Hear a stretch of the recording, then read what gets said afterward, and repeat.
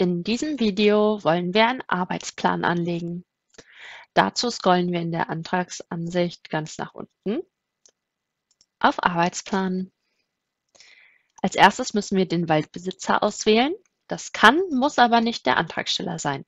Wenn wir den Antragsteller übernehmen wollen, klicken wir auf dieses Symbol. Es ist aber auch möglich, den Antragsteller, äh, den Waldbesitzer in dieser Liste manuell auszuwählen.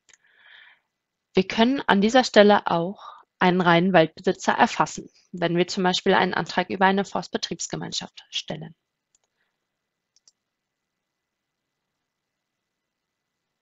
Wir wählen ein Flurstück aus.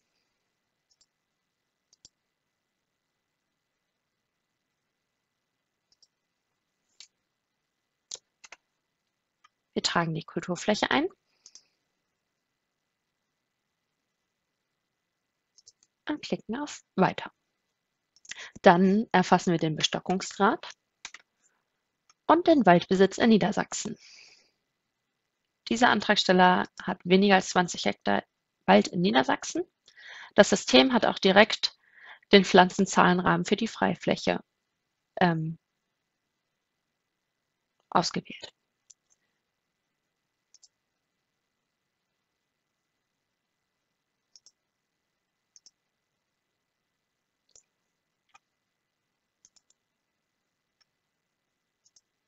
Wir erfassen die Standortsziffer.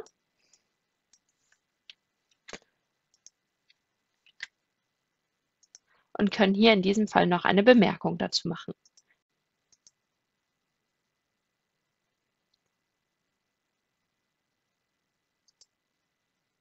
Als nächstes erfassen wir die Vorarbeiten. Dazu wählen wir über dies Plus eine neue Vorarbeit aus. Ich habe die Möglichkeit, eine der drei voreingestellten Auswahlmöglichkeiten zu nehmen oder ich erfasse hier eine eigene. Ich entscheide mich für die Standortkartierung. Ich habe die Möglichkeit, hier eine Erläuterung zu erfassen und trage die Kosten hier ein. Diese Standortkartierung kostet uns 250 Euro. Und über Übernehmen kommt es in meine Übersicht. Jetzt habe ich die Möglichkeit, eine weitere Vorarbeit zu erfassen oder ich klicke auf Weiter. Jetzt kommen wir zu dem Herzstück des Arbeitsplans, Aufbau und Struktur der Kulturfläche. Hier oben finden Sie eine Informations- und Hilfebox und hier wähle ich den WET aus der WET-Liste aus. Ich entscheide mich für einen Buchen-Douglasien-WET und dann gebe ich hier ein, wie viel ich denn pflanzen möchte. Pflanzfläche mit WET sage ich, möchte ich gerne ein Hektar pflanzen, weil 0,5 Hektar sind auch noch Rückewege oder Restbestockungen. Und ich möchte auch noch einen halben Hektar Waldrand pflanzen. Das Programm rechnet hier 1,5 Hektar Wald, äh, Pflanzfläche zusammen. Das passt. Hier unten habe ich über Bemerkungen noch Möglichkeiten, etwas äh, der Regionalstelle und Bewilligungsstelle mitzuteilen. Speichern und weiter.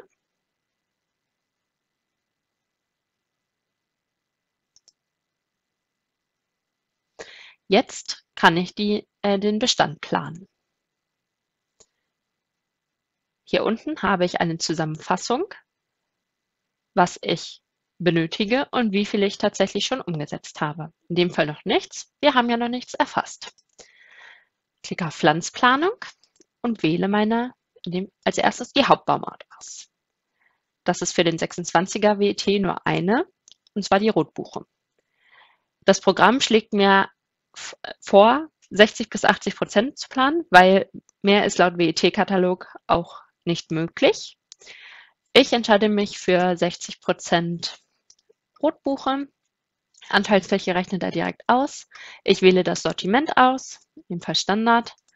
Und die Stückzahl, weil ich vorher ja schon Freifläche ausgewählt habe, sagt er mir, ähm, ich darf 7000 bis 10.000 Stück planen. Ich wähle 10.000 aus. Ich kann hier schon die Herkunft ähm, auswählen, ähm, muss es aber nicht. Wichtig ist, dass man diesen Schritt immer von links nach rechts macht, weil sonst die Stückzahl erst im Anschluss berechnet wird.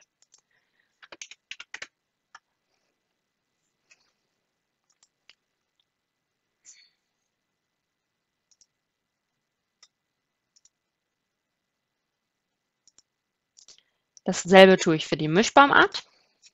Auch hier schlägt er mir wieder etwas vor. Ich sage, ich möchte 30% Douglasie. Jetzt schauen wir mal, was passiert, wenn ich das Sortiment nicht vorher auswähle. Dann wird mir hier nämlich Werte zwischen 0 bis 1000 Stück. Und das ist ja falsch, weil wir richtig 2500 bis 3500 Stück.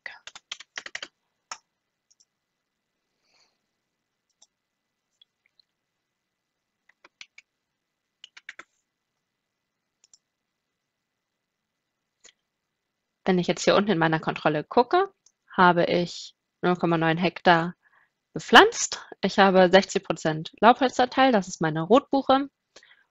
Und es ist auch standortheimisch. Jetzt möchte ich noch über Naturführung meine Begleitbaumart beifügen. Das, ich entscheide mich in dem Fall für ein Bergahorn und 10% sind noch übrig von meiner Berechnung. Die übernehme ich. Jetzt haben wir hier unten 70%. Ich plane den Waldrand. Den hatte ich ja vorher ausgewählt. Ansonsten wäre das in dem Fall äh, grau hinterlegt und ich könnte es überspringen. Ich möchte gerne das Pfaffenhütchen auf 50 Prozent der Fläche pflanzen. Stückzahl je Hektar, da haben wir keinen Pflanzenzahlenrahmen für, also ist es egal.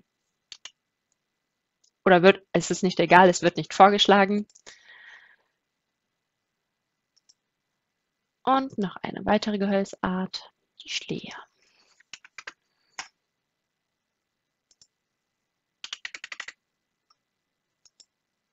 Ah nein, geben Sie bitte die Kosten pro Pflanze ein. Immer wenn hier oben etwas rot erscheint, dann äh, als Fehlermeldung, dann hat, hat man etwas vergessen auf dieser Seite anzugeben. Und in dem Fall weist er mich direkt darauf hin. Ich habe die Pflanzen, äh, die Pflanzkosten vergessen und die habe ich jetzt eingefügt. Jetzt kommen wir zur Pflanzung. Hier oben sagt er mir, Sie haben 7250 Pflanzen geplant. Das ist, ähm, sind die Gesamtpflanzen. Pflanzung. Ich kann es hier differenzieren über die Erläuterung oder ich schreibe es in der Tätigkeit. Das ist ähm, alles möglich. Ich sage, ich habe 6750 Pflanzen gepflanzt und das kostet mich 60 Cent. Übernehmen. Hier über das Plus, weil ich noch nicht alle meine Pflanzen gepflanzt, äh, verplant habe. Den Waldrand habe ich in Eigenleistung geplant.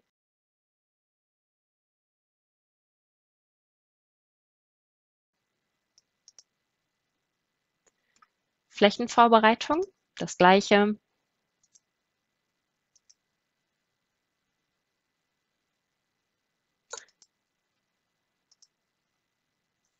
Hier habe ich die Möglichkeit, einen Kommentar zu erfassen.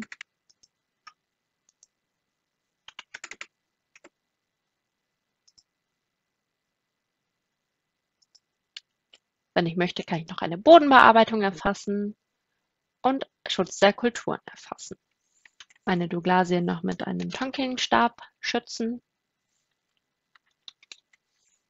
Kann dazu einen Kommentar erfassen.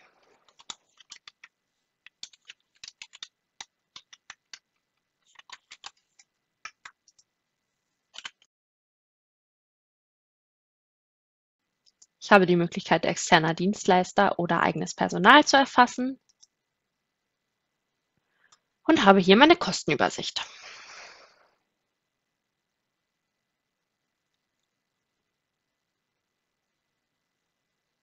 Hier unten sehe ich die Zuwendung nach allen Abzügen, also wie viel ähm, dieser Arbeitsplan an Zuwendung zu rechnen ist. Hier muss ich noch äh, ähm, bestätigen, dass es sich um Maßnahmen im Zusammenhang mit der Bewältigung von Extremwetterereignissen handelt. Da setze ich ein Häkchen. Ich habe hier noch die Möglichkeit, eine Bemerkung zu, zu, erfa äh, zu erfassen.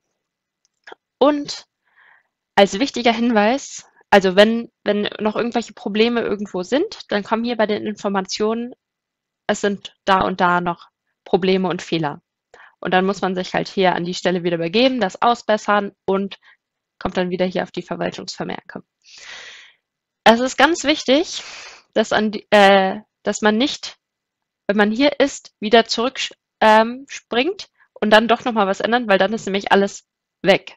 Also wenn man jetzt zum Beispiel nochmal den WET ändert oder die Pflanzplanung, ähm, die, Flächen, die Flächenanteile, da, da muss man drauf achten, dass das dann ähm, weg ist, damit man nicht das Programm umgehen kann.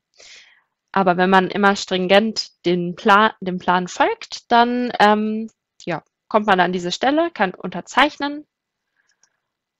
Und was es dann noch zu beachten gibt, erfahren wir im nächsten Video. Vielen Dank fürs Zuschauen. Weitere Informationen finden Sie auch im Internet unter Agrarförderung Niedersachsen Forstwirtschaftliche Maßnahmen. Bei Fragen rund um die Anwendung stehen Ihnen Thorsten Twiestmeier und ich, Chiara Hahn, gerne zur Verfügung. Verantwortlich für den Inhalt des Videos LWK Niedersachsen, Sachgebiet 214 Forstliche Förderung.